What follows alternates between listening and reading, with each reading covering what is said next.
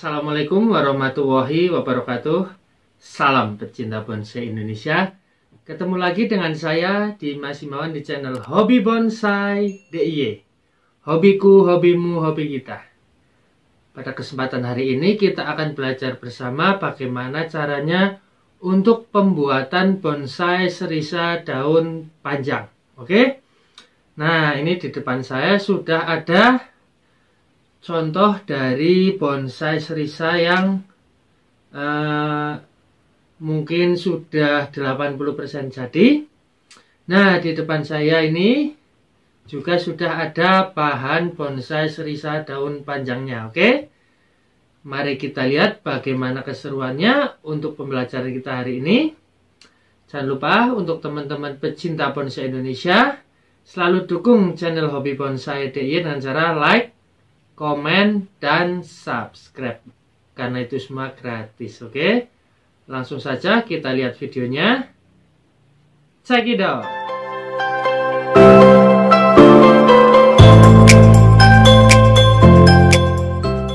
Oke, sahabat hobi bonsai DIY. Nah, sekarang saya akan mengambil contohnya. Ini adalah bonsai serisa atau seribu bintang daun panjang.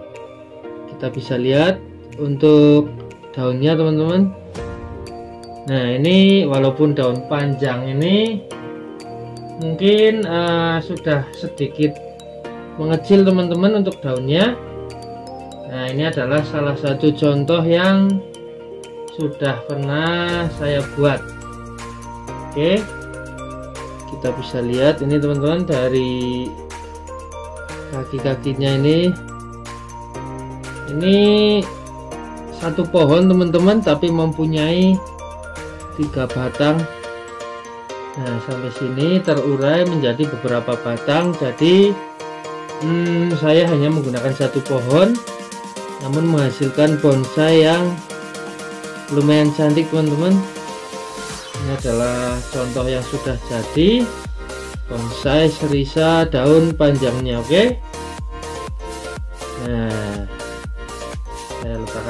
Teman-teman.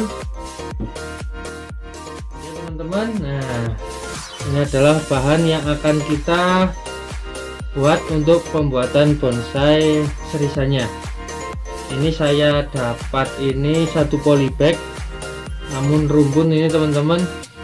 Saya tidak tahu ini berapa pohon tapi saya akan mencoba membuatnya uh, supaya terlihat cantik atau terlihat indah oke? Okay?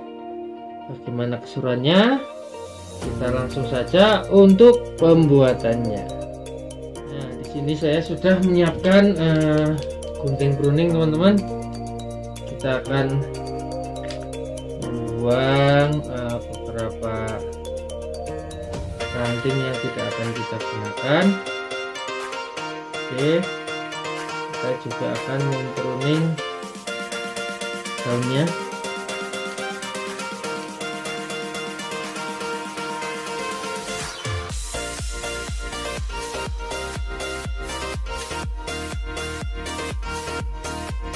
Untuk bonsai serisa sendiri ini mempunyai beberapa jenis teman-teman.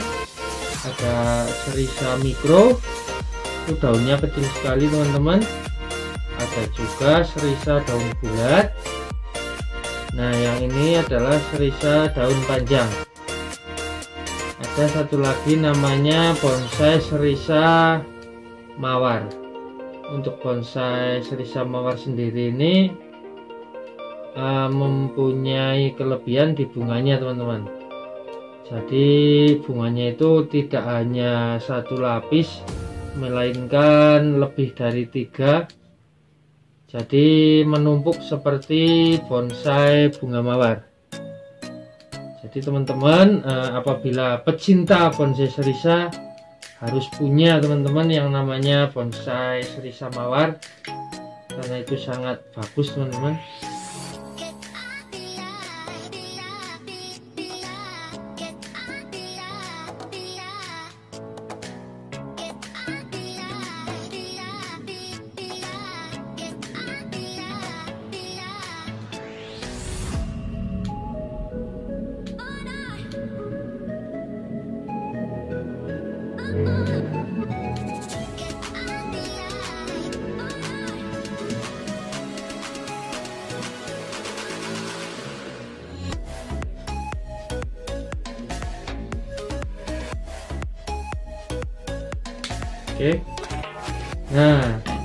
bagaimana caranya untuk memperbanyak dari bonsai serisa tersebut.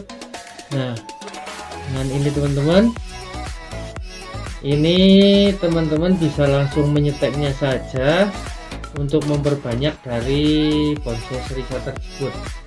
Karena dari setekan ini teman-teman bisa memperbanyak dari bonsai serisanya nah, tidak perlu dijangkok tapi dengan entres seperti ini.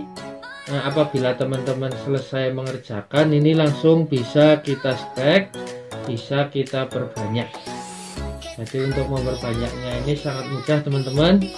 Tinggal menyetek dari sisa-sisa peruningan pembuatannya oke? Kita lanjut untuk memperuningnya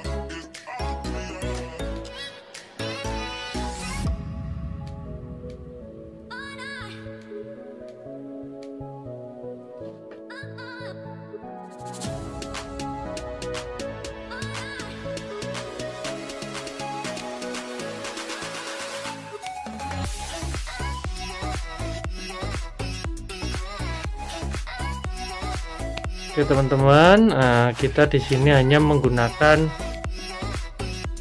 uh, cabangnya saja. Untuk perantingannya, kita akan menunggu ranting baru teman-teman. Jadi kita akan membuang mungkin semua rantingnya. Ini tidak masalah teman-teman.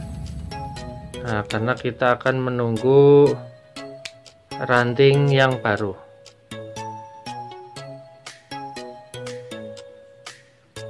Oke kita potong saja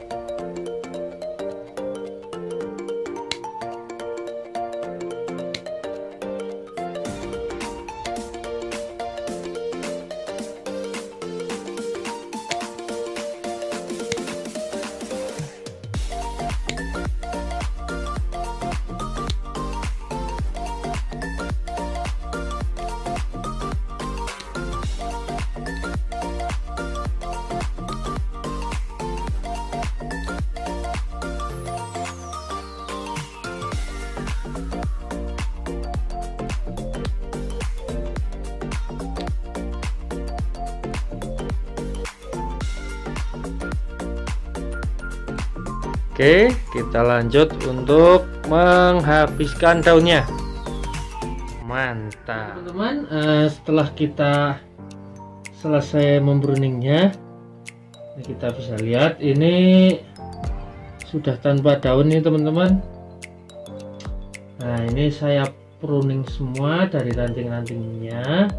Ini kenapa saya pruning semua? Ini dikarenakan nanti pada saat muncul ranting baru nanti posisinya ini posisi cabangnya ini sudah agak uh, tertata agak mapan teman-teman untuk dari segi kehidupannya. Uh, jadi nanti kita akan mengarahkan dari ranting-rantingnya setelah muncul ranting baru dari terubusan cabang-cabangnya karena kan nanti pada saat pembentukan akan kita putar akan kita pelintir. Nah apabila nanti e, rantingnya tidak kita habiskan nanti akan mengarah ke atas ke bawah ke samping. Nah itu nanti e, memungkinkan dari bonsainya ini kurang bagus. Jadi saya menghabiskan dari semua rantingnya hanya menyisakan cabang-cabangnya saja. Oke? Nah untuk proses selanjutnya kita akan lanjut proses mewiringnya atau pengawasannya sini saya sudah menyiapkan. Kawat teman-teman. Langsung kita akan proses mewiringnya oke? Nah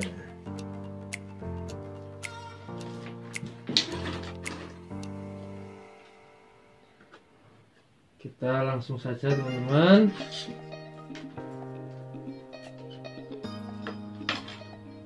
Jadi buat teman-teman eh, apabila punya bonsai serisa untuk proses pengerjaannya ini teman-teman bisa menghabiskan dari semua daunnya teman-teman.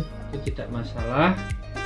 Nah, itu ada beberapa keuntungan yang pertama dari proses wiringnya itu sendiri teman-teman bisa lumayan enak atau tidak terganggu karena kan ada daunnya jadi untuk teman-teman bisa leluasa dalam proses wiringnya oke okay?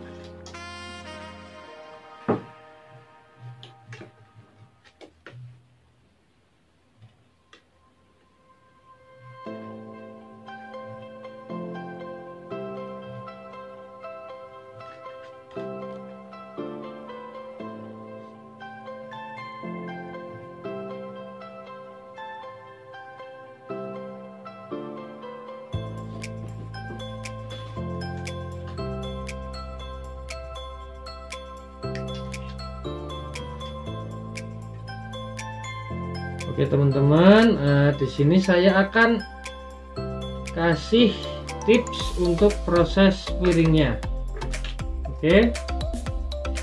Nah ini mungkin eh, teman-teman uh, sudah banyak yang tahu, tapi uh, tidak sungkan-sungkan saya memberitahu kepada teman-teman semua tips proses piring.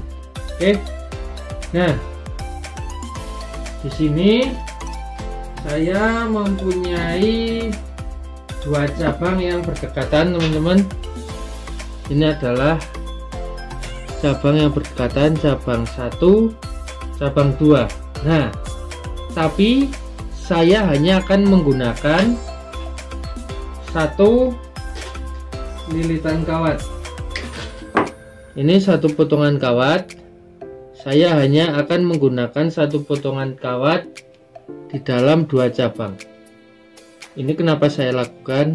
Oke nanti saya akan kasih jawabannya. Untuk caranya kita bisa lihat.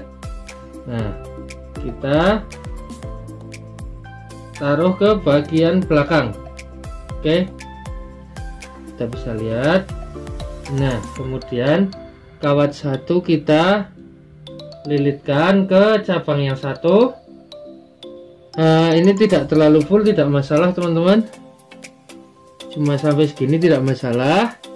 Kemudian kawat yang nomor dua ini di bagian satunya kita lilitkan full. Nah ini tujuannya untuk mengancing dari cabang satu dengan cabang yang lainnya. Oke.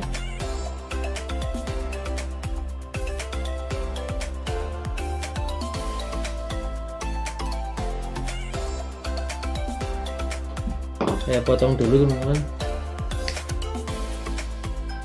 Oke.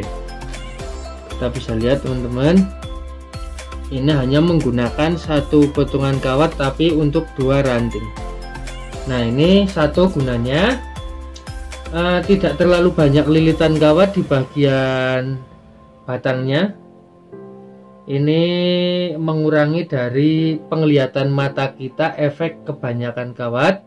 Yang kedua dari cabang satu apabila kita uh, kasih liukan kita kasih gerakan Nah, ini tidak akan kembali dikarenakan eh, cabang yang satunya ini mengunci dari cabang yang saya putar tadi, yang saya lilit tadi. Sebaliknya, apabila kita eh, membuat liukan di cabang yang satunya juga, ini tidak akan kembali dikarenakan ini sudah terkunci dengan menggunakan cabang yang satunya. Oke. Okay? Jadi buat teman-teman apabila ada cabang yang eh, berdekatan eh, ya maksimal sekitar 5 cm teman-teman bisa mengaitkan satu cabang dengan cabang yang lain dengan menggunakan satu lilitan kawat oke? Jadi untuk tampilan juga masih terlihat bagus Nah untuk kuncian dari lilitan juga maksimal. Jadi teman-teman jangan sungkan untuk menerapkan ilmu yang mungkin teman-teman juga sudah banyak yang tahu dari mungkin pengalaman youtuber-youtuber yang lain. Nah saya hanya sedikit uh, mengasih saran oke? Okay?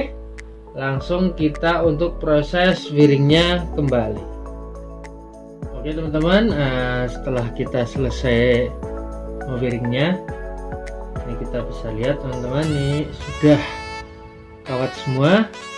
Kita tinggal proses untuk pembentukannya, oke? Untuk pembentukannya saya mulai dari bawah terlebih dahulu. Langsung saja kita untuk proses pembentukannya ini walaupun uh, bonsai serisa seribu bintang ini juga harus hati-hati teman-teman. Karena kan untuk uh, tang atau rantingnya ini juga lumayan renyah. Jadi untuk prosesnya teman-teman juga harus ekstra hati-hati terlalu tergesa-gesa oke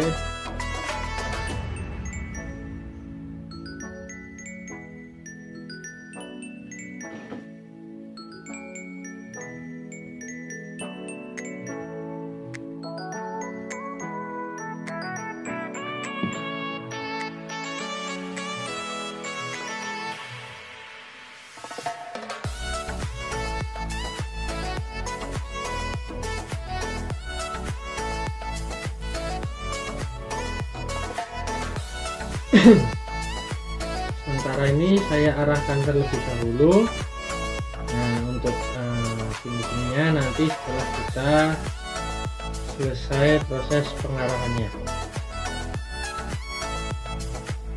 jangan lupa untuk uh, pembentukan bonsai juga harus ada background belakangnya oke okay?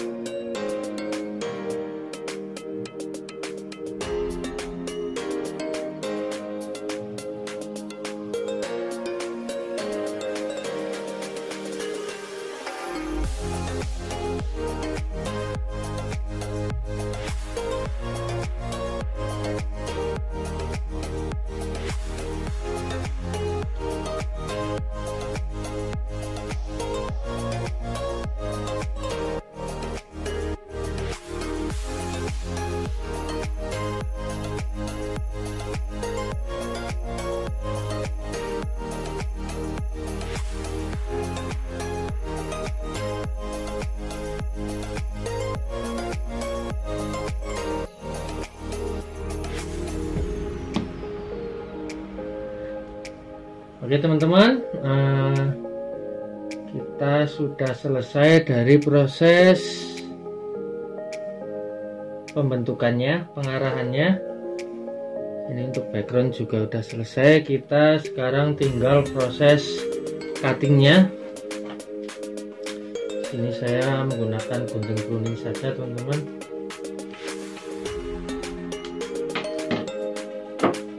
Proses cutting ini kita juga harus memperbaiki dari alatnya.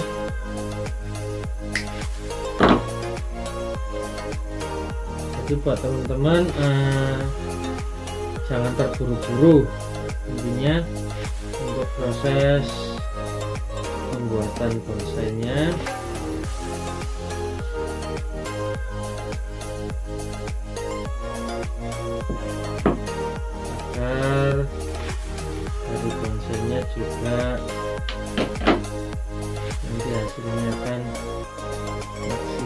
maksimal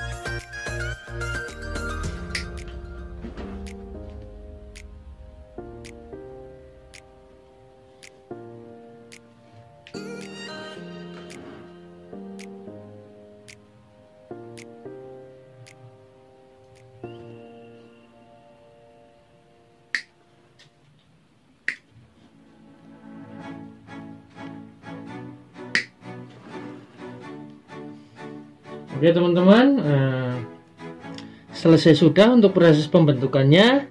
Sekarang kita tinggal pindah ke pot. Kita akan mengganti ke pot yang uh, mungkin lebih enak dipandang. Oke, langsung saja kita proses pemindahannya. teman-teman, uh, kita langsung menyabutnya saja. Nah ini kita bisa lihat ini harus kita buang tanahnya teman-teman.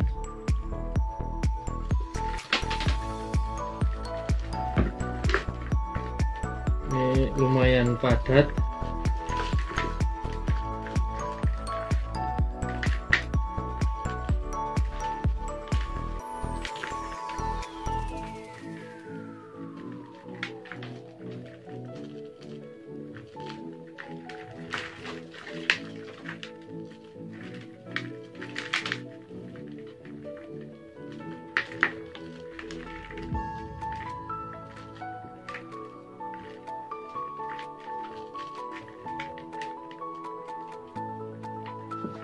Kita juga akan mengurangi dari akarnya ini teman-teman.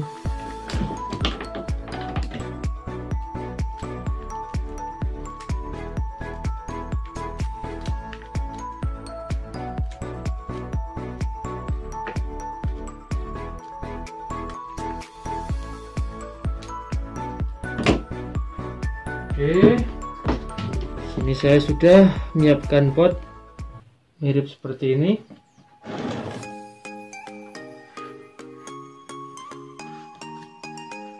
Sangat pas sekali ini teman-teman. Ya kita juga sudah menyiapkan medianya.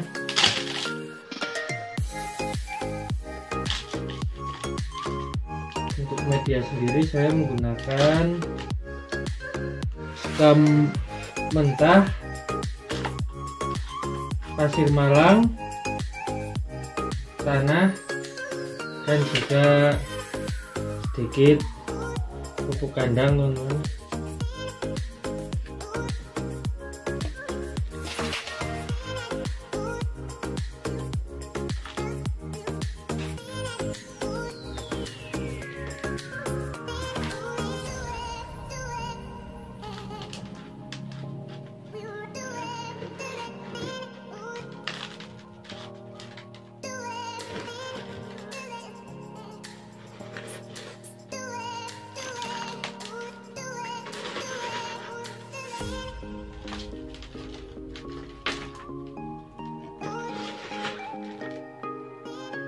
dikarenakan kita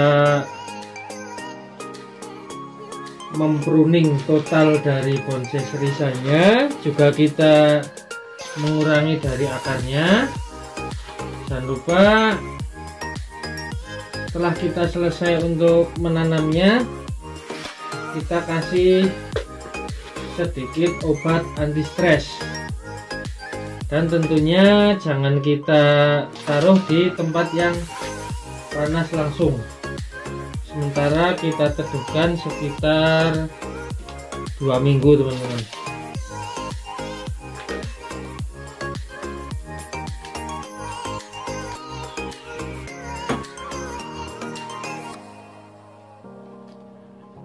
Oke teman-teman eh, setelah kita selesai proses pembuatannya dan proses penanamannya dari bonsai serisa tersebut ini adalah hasilnya teman-teman. Kita bisa lihat. Nah ini di kanan kiri. Ini paling panjang teman-teman dari uh, tengahnya.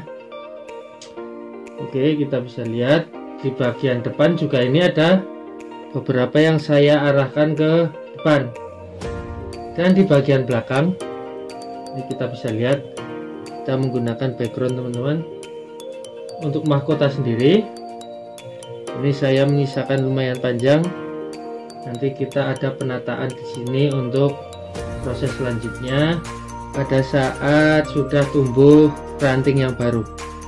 Oke ini adalah hasil pembelajaran kita hari ini untuk pembuatan bonsai serisa daun panjangnya Semoga bermanfaat untuk kita semua. Lumayan cantik teman-teman. Kita tinggal menunggu untuk tumbuh rantingnya. Nanti kita akan proses wiring kembali. Oke. Nah, sekian untuk pembelajaran kita hari ini. Jangan lupa untuk teman-teman pecinta bonsai Indonesia selalu dukung channel Hobi Bonsai DIY dengan cara like, komen, dan subscribe karena itu semua gratis Sekian dari saya. Salam pecinta bonsai Indonesia. Assalamualaikum warahmatullahi wabarakatuh.